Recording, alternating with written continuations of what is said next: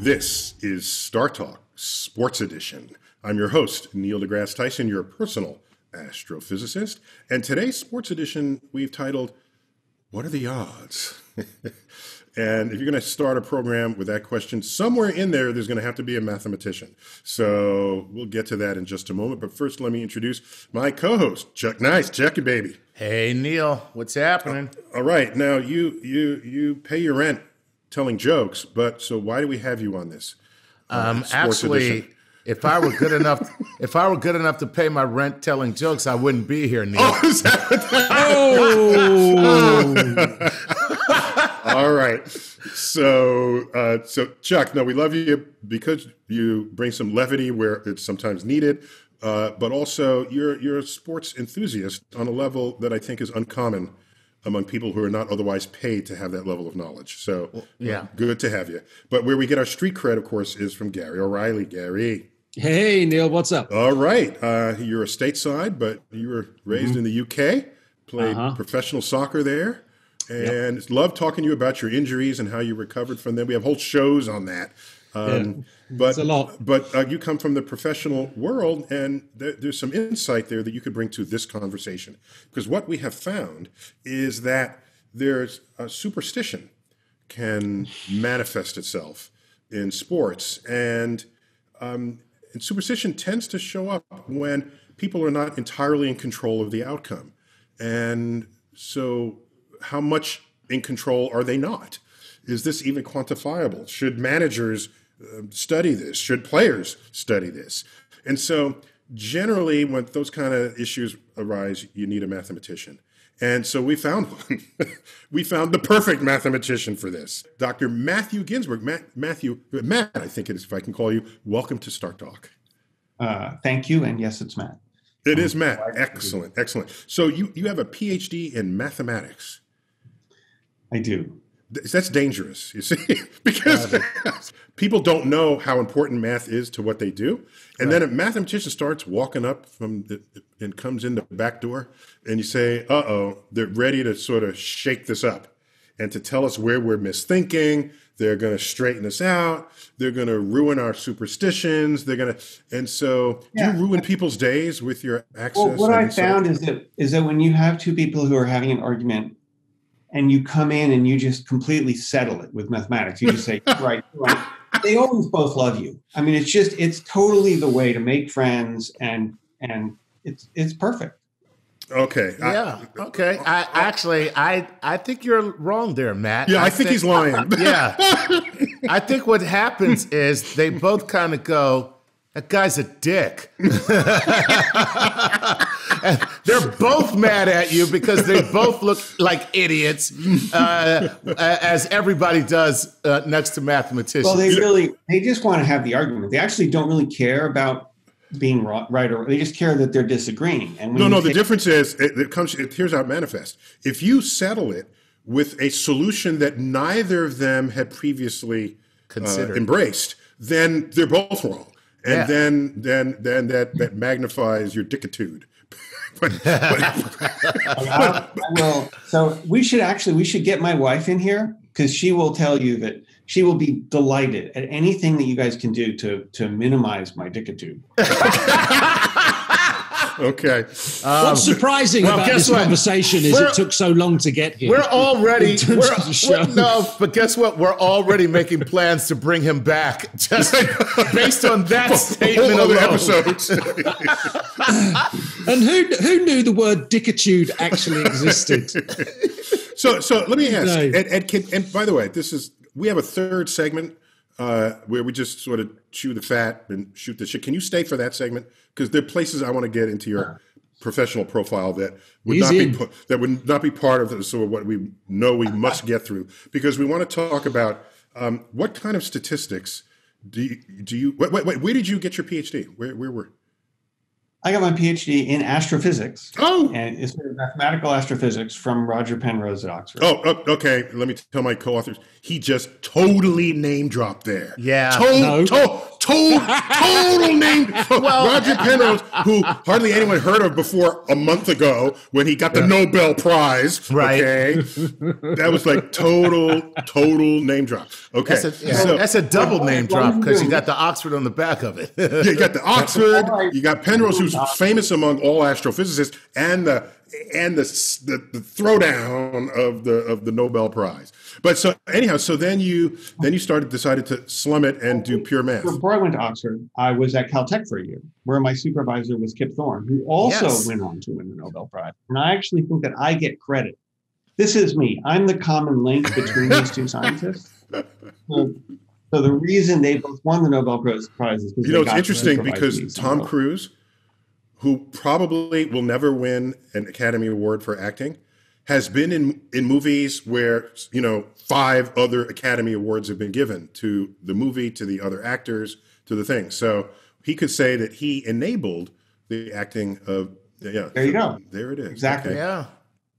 This is probably a dickitude move. That's true.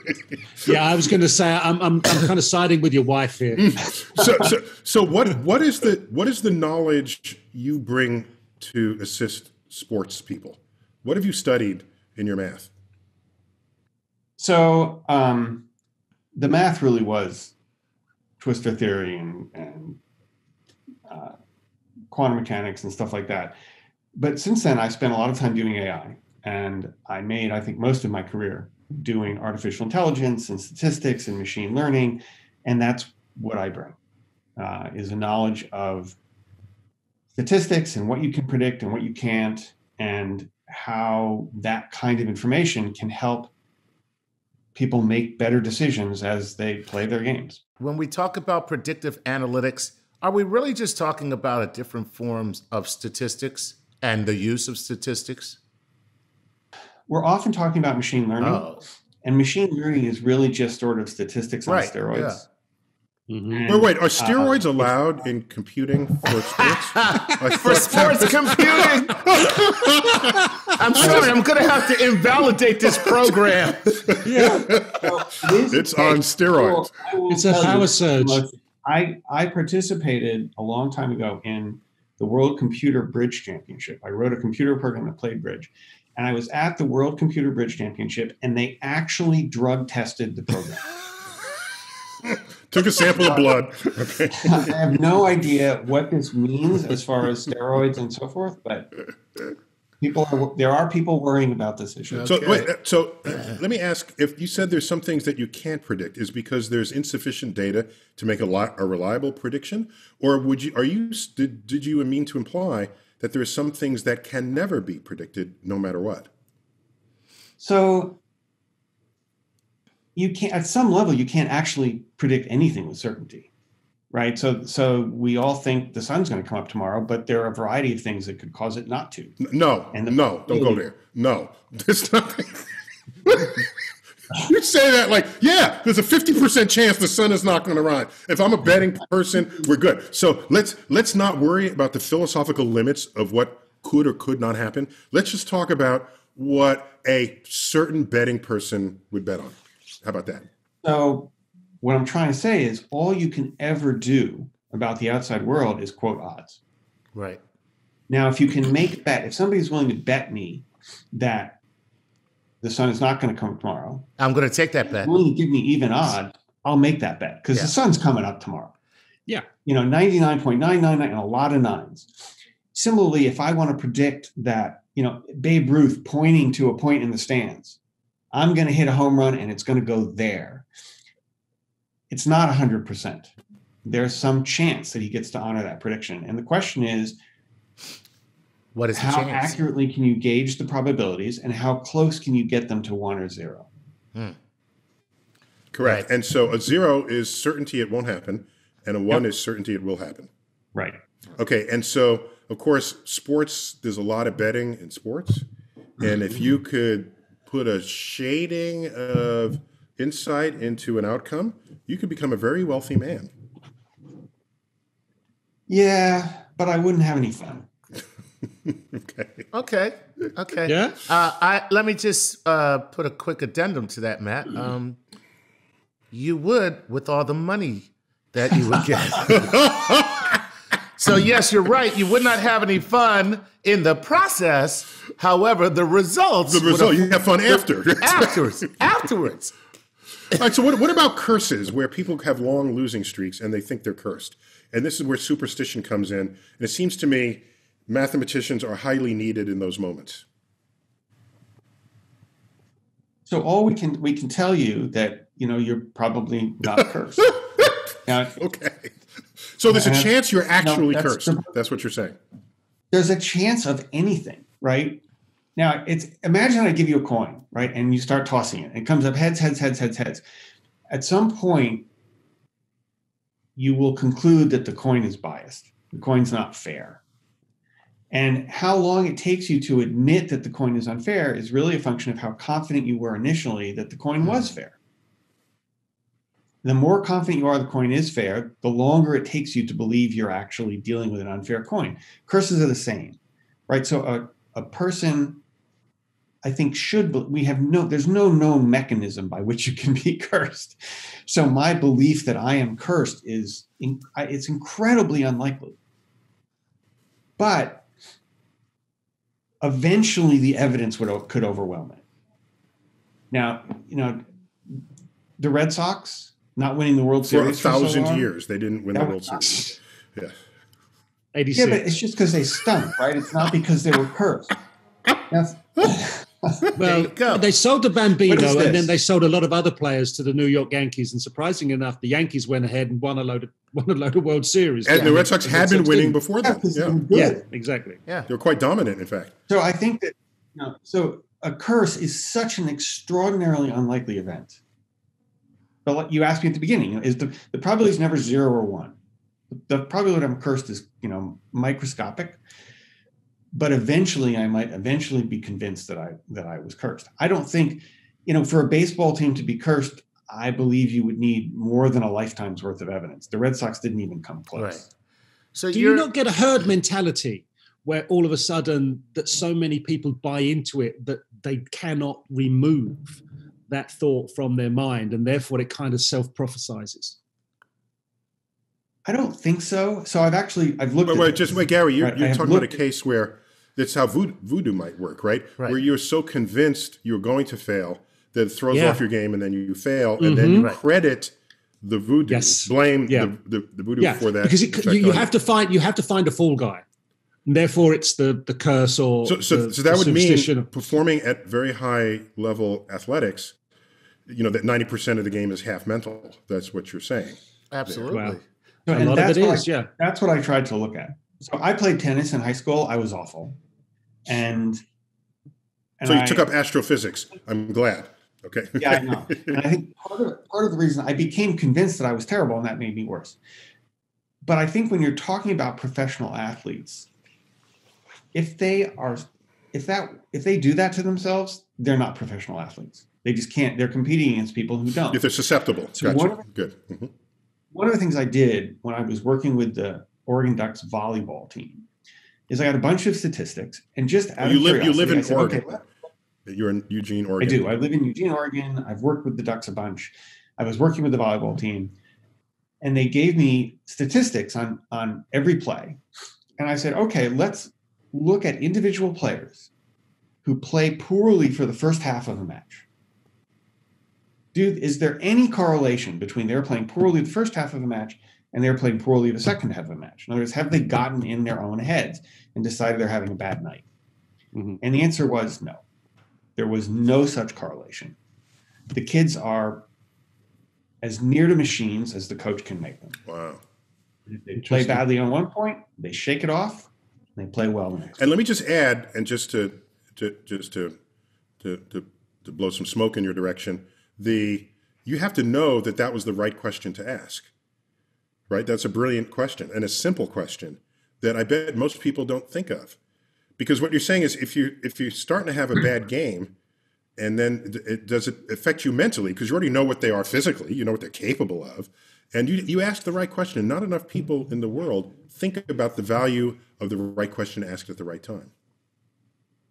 So, uh, thank you.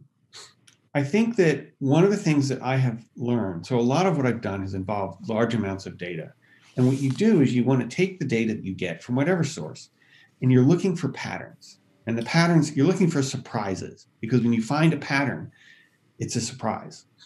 Might be a curse, might be lack of a curse, but you're looking, you learn to look for patterns in data. That's what machine learning is about. That's what statistics is about. It's what data science is about. And when I got all this volleyball data, I just started doing everything I could think of. And I asked a bunch of questions that were, that were less interesting. But you know, this one, thank you for saying it was a good question. Um, but it's something that the data was able to advise me on. And you know, so I've done. I did the same thing with basketball. So I I got uh, every basketball play for a year, and I started looking to see is there anything that predicts whether a player is going to perform well or poorly in any particular game, and the answer turned out to be yes, and it was basically the number of minutes he had played previously. And basketball has a very long memory. It turns out that that playing a lot early in the season, you carry that burden with you for the whole rest of the season. But yeah. it, does it help you or hurt you if you played a lot? It hurts. It hurts, it hurts you, yeah. Tired. And it, yeah, it's it's, it's season fatigue. Yeah. As a matter of fact, last year uh, before the whole you know COVID, so not this past season that they played, but the season before, there was a big argument about certain players being. Wait, wait, so Chuck, to, if you want to go before, it's just BC before COVID. Oh yeah, BC. So, there you go. okay. But there was a big controversy about um, allowing players to kind of take a break during the season, sit mm. out games that weren't as crucial, to allow their bodies to uh, refresh and re-energize in some way and uh, it just became a huge, huge thing. And the idea is, damn it, I'm paying eighty dollars for a ticket. I want to see Shaq play. That's it, and that's basically where the controversy is. And the other and that, controversy was, I'm paying his salary. Right. The other controversy is, hey, we never did it like this before. You know, the guys at the be- the guys before who came before us are tougher. They're, those guys oh, grounded yeah. out for the whole yeah. season. What makes you so soft that you got to take a break? but it's Chuck, really. Do you want me to go through my injury list? Because this, this is another hour. Now, the guys in my era did exactly that.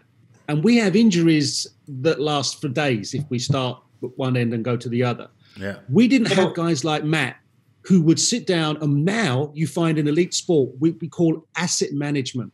I got to pull you out for two games so as I can have you for the next two months. Because if I play you in those next two games, you're out for those two months because you're burnt, your muscles are not in a good condition. Well, yeah, and uh, there's a higher the probability that you're going to receive yeah. an what, injury. One of the things that I found, and it was interesting.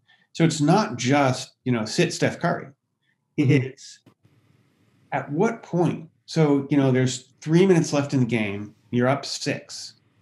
Is that enough that you should sit him down?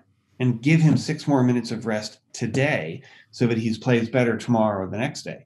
And the interesting thing is, if you have all the numbers, this becomes a purely quantitative question. You know, if I sit him down for the rest of this game, my chances of winning this game go down a tiny bit. I've probably won it because we're up six with three minutes left. Mm-hmm. But my chances of winning the day after tomorrow go up, and the game after that, they go up. So you end up with this incredibly quantitative question. And I actually all right. I crunched so, it all. Okay, so let's come back to that. We got to take a break now, but when we come back, we're going to talk about number crunching in exactly as you're describing, Matt. And I'm going to ask you the question if it's all just a matter of numbers, who needs coaches? When Star Talk Sports Edition continues. We're back. Star Talk Sports Edition. We're doing this by the numbers. What are the odds? What does that even mean? And we got a mathematician, Matt. You know, Matt, love having you here.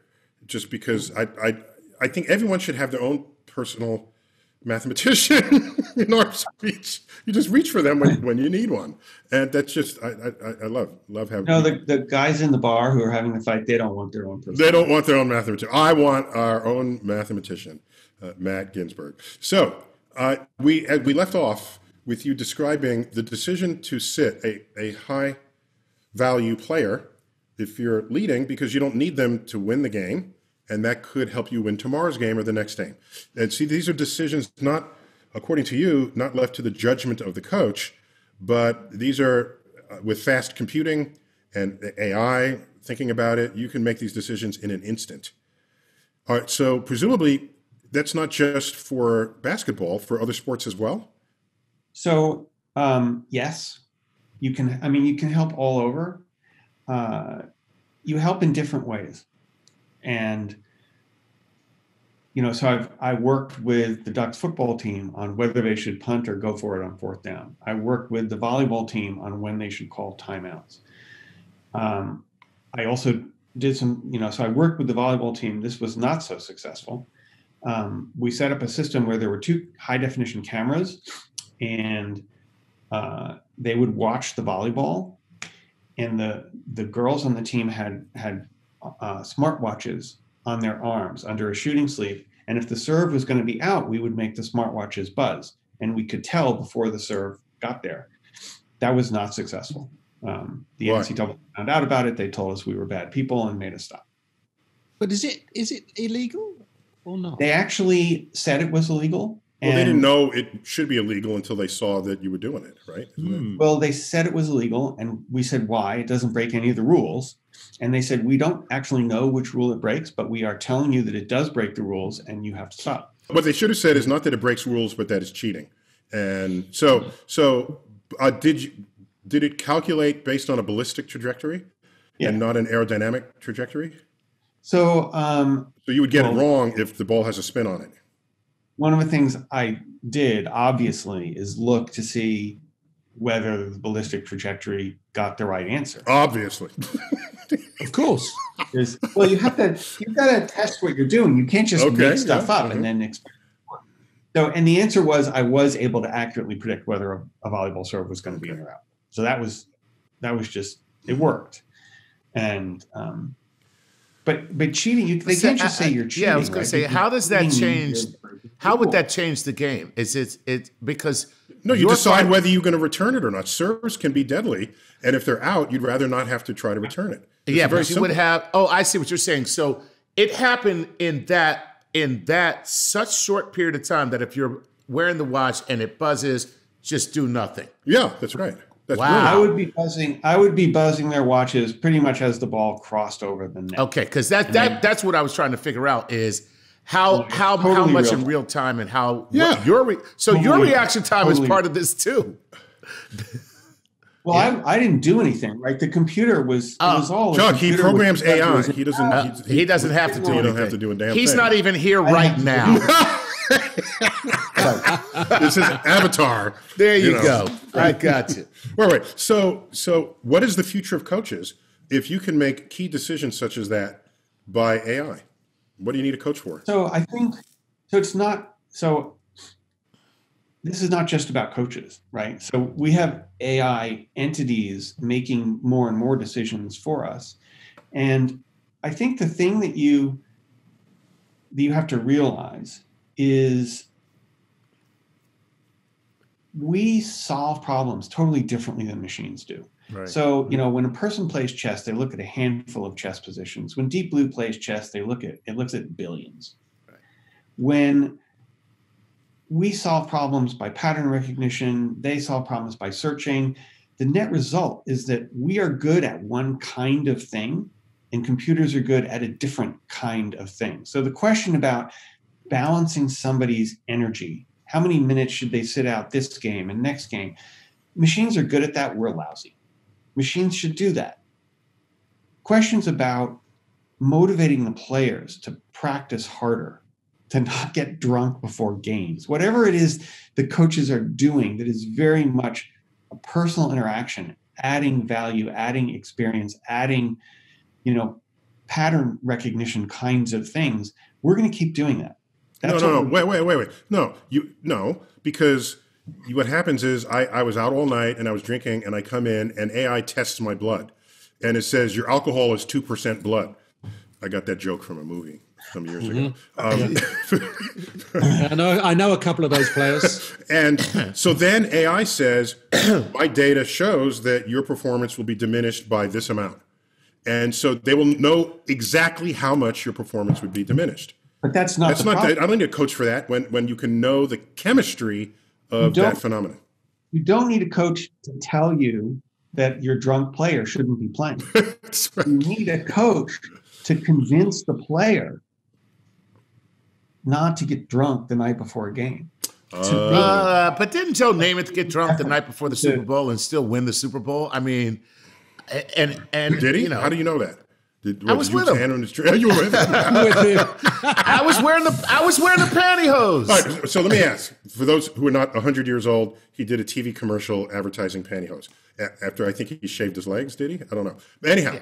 um, anyway, let's move on from that. So, so, so, Matt, um, baseball is famous for how much statistics plays in the decisions of coaches. On the level where they'll shift an entire infield of players to one side because well, yeah. of the statistics of how the batter hits the ball. Do mm-hmm. other sports lend themselves to this level of analysis? So, um, yes. Yeah. Is the short answer. Basketball is right on baseball's heels. So um, I know a bunch of people involved in the basketball world, and they are incredibly committed to exploiting statistical information the same way the baseball guys do. Um, the other sports are behind. So I've been looking at football and talking to football people, and they know that they're not taking advantage of data as much as some of these other. And as you began just a moment ago, the biggest decision play is: do you kick or do you go for fourth down? Fourth I mean, and whatever. Of, of fourth and and short. Do you kick or do you go for it? And that's you know everyone that's everyone debates that the day after. All right, if it didn't go the way people wanted, how does how did how does data help that? So that is you just do it. You just figure it out. And um, and I did work for the Oregon Ducks, and um, I actually made a deal with them that I would figure out what they should do on fourth down, and I would get four season tickets. I worked. Good deal. They said yes, and I told them every week I would go to them with this giant book of what to do in every possible fourth down situation, and I would give it to the coach, and I said the same thing. I said, "Look, here's the deal. Just stop punting between the 35 yard lines. You'll be fine." And the Oregon Ducks stopped punting between the 35 yard lines, and they they had an amazing year, in part because not punting between the 35 yard lines in college football is just right. I did then go to him the next year and ask him if he wanted to do it again. And he said no. And I said, What? And he said, I know not to punt between the 35 yard lines. I'm going to keep my tickets. And he's and he sent me on my way. So they are starting to make the decision this way, but not terribly effectively yet. I mean, you can do so much more than fourth and however, mm-hmm. fourth and whatever. Wait, so, so, what, so, Matt, so, what, you're saying is your your your your advice to him was consistent with his life experience, and therefore it had no value to him. No, no, no. He he. When I started working with him, he never punted. He always punted between 35 yard lines. Everybody punted. So the first time he followed my advice, he was playing Utah. It was fourth and five from midfield and he decided to go for it hmm. because I had been telling him to do this forever. Utah was so surprised they had to waste a timeout because they had put their punt return team on the field and he put his normal offense on. So they had to blow a timeout and then he got it. And he thought, well, that's pretty cool. And he did it again. And he learned, he just started doing better. And if you watch college football now, you will see that between the 35 yard lines, they go for it a lot. Hmm. Okay. And this is starting to trickle into the NFL also.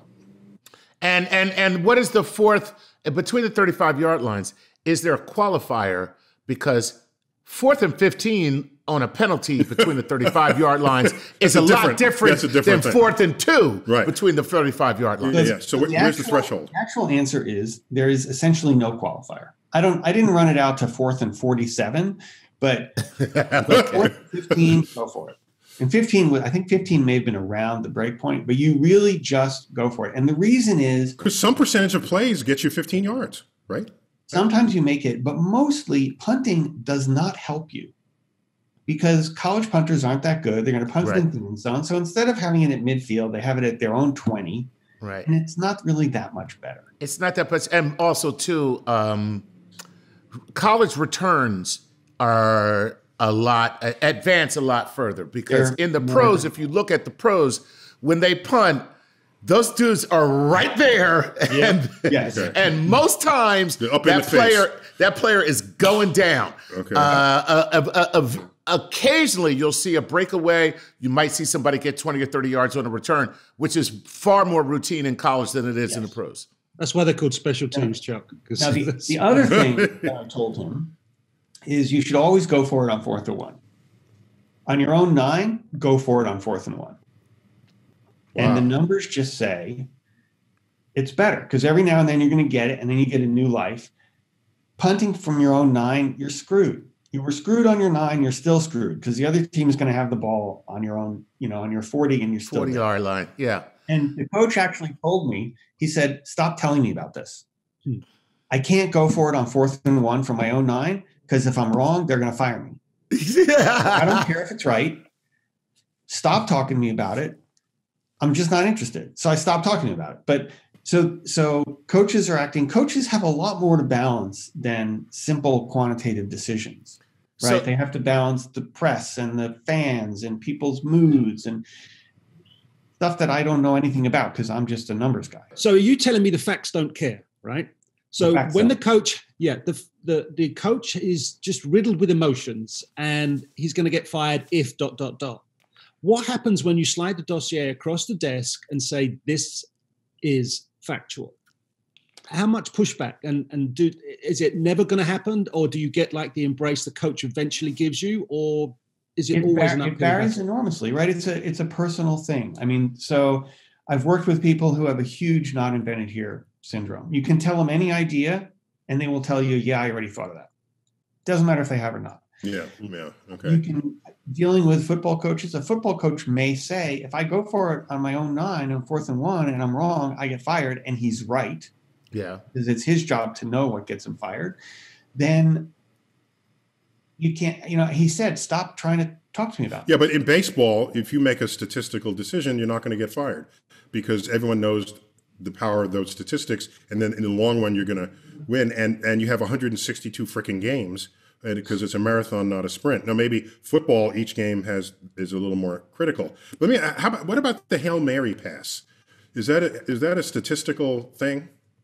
I don't know. I I actually um, just looked at this, and I can tell you that it looks like you, you it works about two percent of the time, but it's not. Um, but it's riskless, right? Because Yeah. here you are, you have the ball at midfield. There's six seconds left in the game. You're down by four. If you don't throw a hail mary pass, you are guaranteed to lose. Lose. If you do throw a hail mary pass, you have a two percent chance of winning. I'll take two Right. percent over zero percent any day. Mhm. So it's not it's not the kind of decision. What people get upset with is you go for it on fourth and one, and statistically it's right, but it was wrong spectacularly today. Okay, okay. So the the the alternative to a hail mary pass is a quarterback run with 12 consecutive laterals. Right. That's that's the alternative to that. And have you thought And you much have- about that? but- That's that's a lot of ball handling, which always carries a risk. I no, so you have to understand I can't think about that because I don't think about football. I think about numbers. And there no there is no data on people trying this multiple lateral play. Yeah, So there would be. You could say at, uh, what fraction of laterals are fumbled, right? Because it's another ball handle, right? And and so there's got to be some access into that Well, play. the problem is that every lateral has to be backwards. Yeah. Right. So uh, eventually you may you may run out of field, but the real problem is you're not moving the ball forward as you're as you're lateraling. Occasionally you do see somebody, you know, there's a kickoff return at the end of a game and people start lateraling around. It never works. I've never seen it work. I have seen Hail Marys work. Right, Yeah. Right. And, and then there's also the trick play, like, uh, which is a variation of a lateral where, and it, it, it normally only happens on kickoffs, where the uh, returner will receive the ball, and then be- you because you can forward pass as long as the ball is not going forward. So he throws the ball across the field to another player, which looks like a forward pass, but because it's going uh, in uh, in back, it's going backwards. It's considered a lateral, and then that player is free from obstruction. Yeah, he's wide, wide open. open. and he's got a big long field of him. And if he's fast enough, he can actually avoid being tackled. Cool. So uh-huh. yeah. So yeah we got to take a quick break. We got to take a quick break. When we come back, uh, uh, Matt, I want to get into sort of what made you who you are. Uh, if I can spend a couple of minutes doing that and still connected to the theme. What what mad scientist puts you together, Matt? In what basement were you invented? Uh, all right, uh, we'll take a quick break. This is Star Talk Sports Edition by the numbers when we return. We're back. Star Talk Sports Edition. What are the odds? And we got mathematician Matthew Ginsberg. So, so Matt, we, we you briefly mentioned that, and you just said off the cuff, oh, Hail Mary passes work 2% of the time and you know i don't i don't have to run numbers to know that it doesn't happen often but when you say 2% you probably mean exactly 2% so how did you how do you actually get that number so for that number which um, your team actually asked me about i looked at all the football data i have so i have every nfl play since 1999 and the question is which are the hail marys so i said okay you got to be down more than a field goal, but a touchdown can tie it. So you got to be down four to eight points. You have to be at least 30 yards away from the end zone. So you have to have at least 30 yards to go. It has to be the end of the game, which I defined as either less than 20 seconds left to play or less than a minute left to play, and it's fourth down. So you're desperate. And then I looked at all the plays that were like that and how many of them were actually recorded as being a deep pass, which is part of the data I have there were 187 plays in desperate situations like that that were recorded as deep passes. And of those 187 plays, four were touchdowns. So. I can then tell so you with confidence, mm-hmm, 2.1% of Hail Mary's work. Wow. Wow. But All as right. you say, 2.1% over nothing. Yeah, it's 2% over over 0%, right? Yeah. I mean, if you don't do it, right. you you know you're not. That's okay. So in this third segment, which we've we're still trying to find a good name for it, but until we do, we're just calling it shoot the shit. so, so what? Um, I got a question for you, Matt. Um, if I remember correctly, was it Deep Blue? Yes, or, or whichever IBM computer beat the world's best Go champion. Okay, that was a Google computer. Google, sorry, Google. It was yeah, that's right, Google. And what was the name of that computer?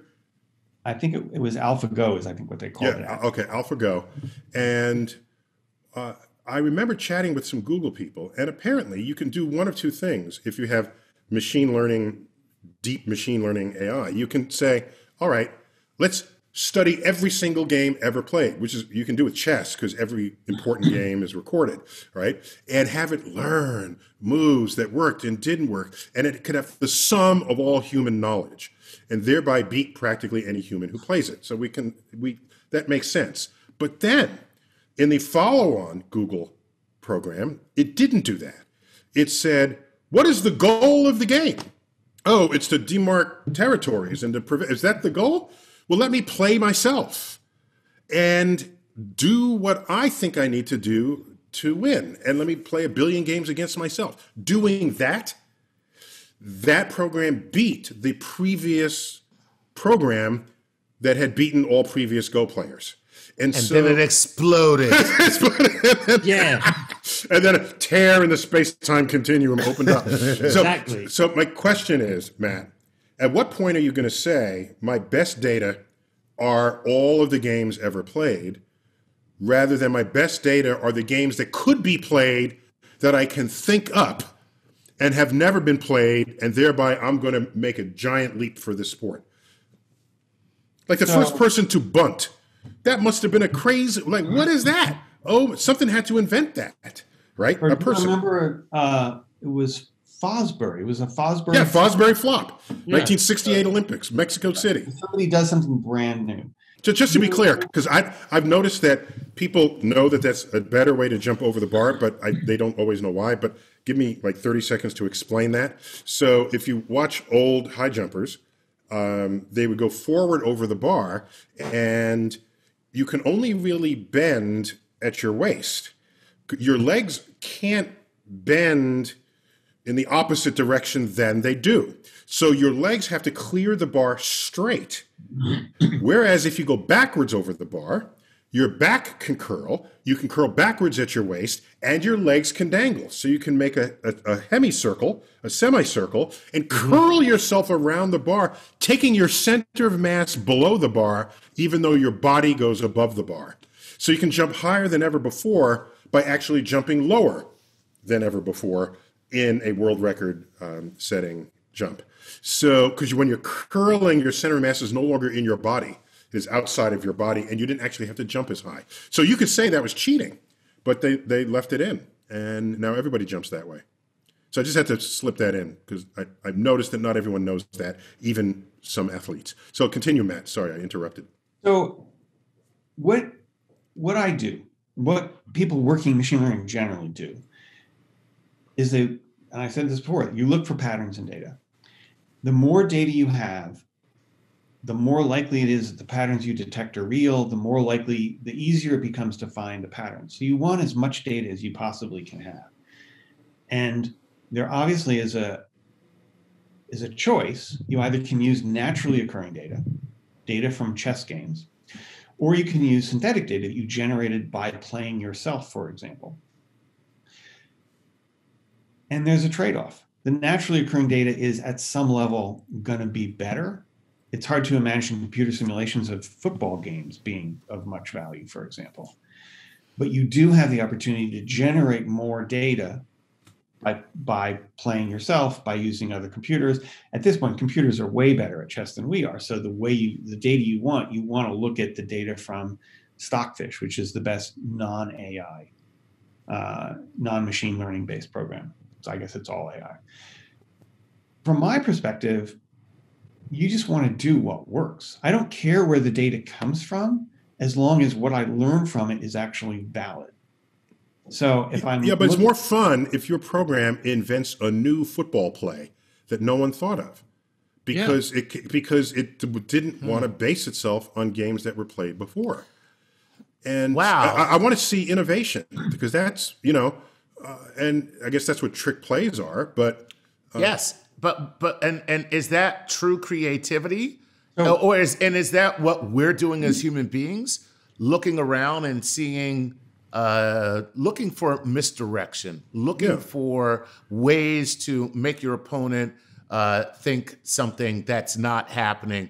Uh, that's how we come up with new plays. And that is also a part of pattern recognition. As a matter of fact, in football, they call it disguising a defense and all that kind of stuff. So yeah, me, and, um, and, and, not only that, the, the very final play in the movie Major League was basically a trick play, and that's hmm. baseball, right? What happens is the batter points to the outfield, okay? And so so that's you know that's he's showing some gonads there, right? Points like he's going to hit, and then instead he turns around and bunts, and so the third baseman has to come running in because they were playing in deep. There was a whole construct there. So let me let me give you a let me actually try and answer this. um, you, okay. No, we'd rather just argue at you. Yes. Okay, I, I know. I'm going to actually ask you the question back. when I worked for the Ducks, I actually did invent a new play. And um, I describe the play as an optional self safety. So there are situations in football where you actually want to score a safety on yourself and then take the kickoff from the 20 and so forth and so on. And I created a another kind of play, which was you go back for a pass, throw a pass. If your pass is basically guaranteed because the guy is just wide open, throw the pass. Otherwise, step out the back of the end zone and do a safety on yourself. New play, nobody had ever thought of before.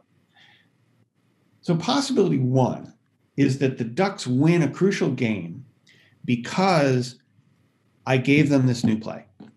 Possibility two is the Ducks win a crucial game because I got them to stop punting between the 35 yard lines. For me, possibility two is just as much fun. That's the question you originally asked is just as much fun as possibility one because I did it. I know I did it. I don't have to go and pick up a girl in a bar by telling her I invented this the passing self safety. By the way, that wouldn't work. Oh, good. they work in the nerd bar. the nerd bar works every time. If but, you've said that, you've tried it. no, no, it works in the nerd bar, but otherwise, yeah. go on. I know when I watch a football game, when I watch a college football game and I see somebody punt not between the 35 yard lines, I smile from ear to ear because I did that. Mm-hmm. It's just as good as if I invented this play that people run from time to time. It's just as much fun. What I did was just as impactful. And whether it was something that, that sort of looks really splashy, like pointing to the outfield and then bunting, or whether it's something that's just grinding it out by doing the numbers and figuring out what to do on fourth down, impact is impact. Winning is winning.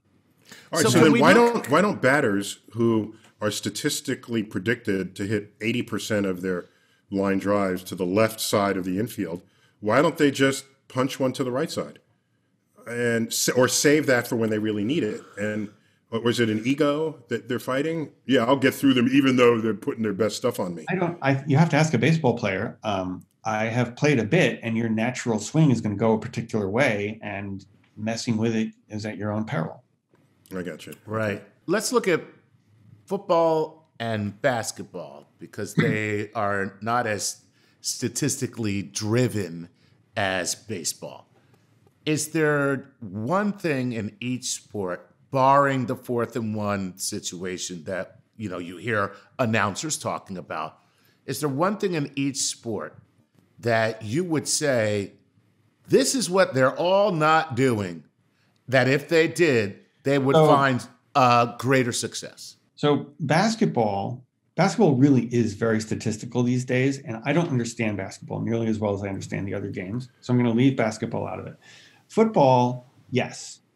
So there is one incredibly easy thing that people don't do in football, and they're crazy, and that is um, you score a touchdown, and you have to decide whether you kick the extra point or go right. for two it turns out that your expected number of points scored is pretty much the same.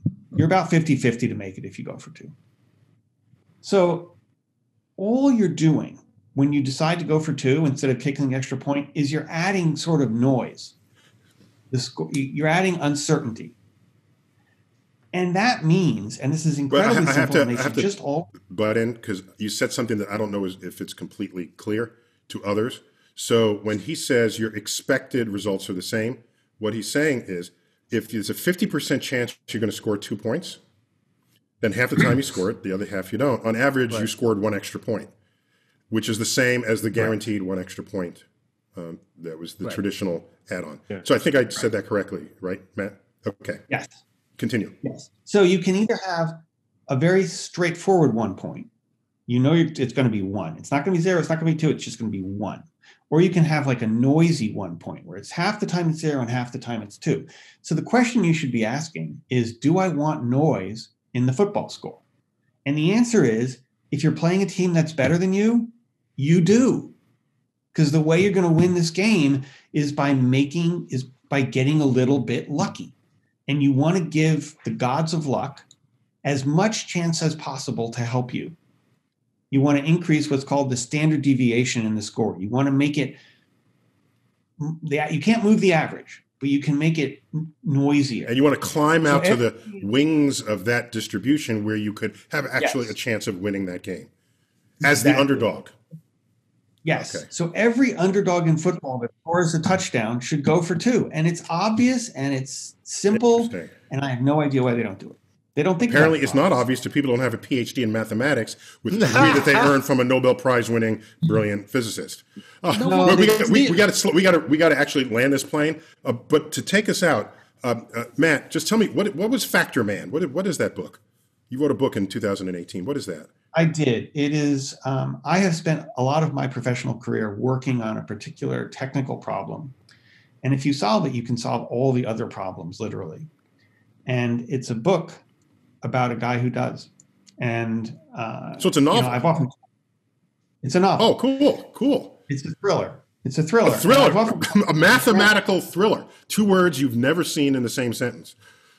I've often talked to my friends about, you know, if you solve this problem, it is actually a race between whether you take over the world or the government kills you. And and And this guy who solves this problem is in this race. He knows he's in this race. He okay. doesn't really. I'm watching that when it comes out on Netflix because they'll surely buy the story. and, anyway, and, that's what that's what Factor Man's about. Oh, excellent, excellent. I'll look for mm. that. And uh, and greatest name ever for computer program, Dr. Fill, with a F I L L. Tell me about that. Dr. Fill is. Uh, I don't remember who suggested the name. I actually, it's a program that solves crossword puzzles. And uh, Neil, you and I have both created crossword puzzles. I've co-created the, a crossword puzzle for the New York I, Times. I am, I am awful at crossword puzzles. When I have a puzzle in the New York Times, it takes about a year from the time you submit it till the time it comes out. I can't do my own puzzles when they're finally published. so I wrote this program that's really good at solving crossword puzzles. It's sort of my revenge on all the people who are so so much better than I am. I needed a name, and uh, I asked the community of crossword puzzle constructors for a name, and one guy suggested Deep Clue. Nice, good one. Which I thought was good. And yeah. somebody else suggested Dr. Fill, which I thought was a tiny bit better. So that's how Dr. Very Fill cool. So yeah. so in other words, never wrong a geek because whatever they're not good at, they'll create a robot that is take, take, over the world. Yeah. Matt, Matt, we gotta we gotta call it quits there. But thank you for being on oh, Star Talk. So Sports Edition was delight to hear how you've contributed to this, and this is surely not the end of that story. There's much more um, infusion that math will have not only in sports but the rest of our lives. And I, I think overall, the more the better. And we look forward to this. So thanks for being on Star Talk, Chuck, Gary. Always hey, a pleasure. Always Thank good. you. Well, Always a pleasure. We're here. I'm Neil deGrasse Tyson, your personal astrophysicist, as always, bidding you to keep looking up.